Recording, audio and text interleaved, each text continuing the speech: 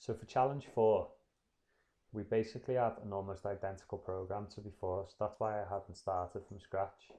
It's saying it wants you to input their first name and then their surname. So all I'm going to do is swap these two lines of code around.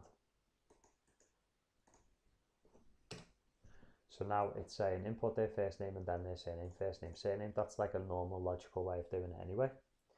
Program then outputs the user's first name and then their surname on the same line. So this is basically called concatenation and it's taking two strings that we're getting input and putting them into one.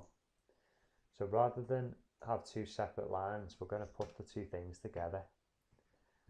In order to do that, all we have to do is put a comma.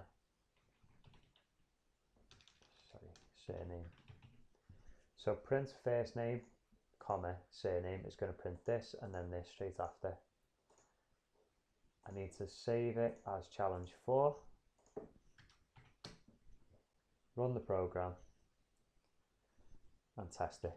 So Jonathan Weir.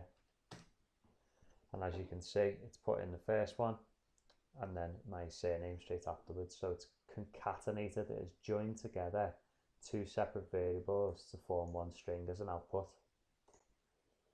And that's how you do it, is with the comment in between the variables. It's the end of challenge four.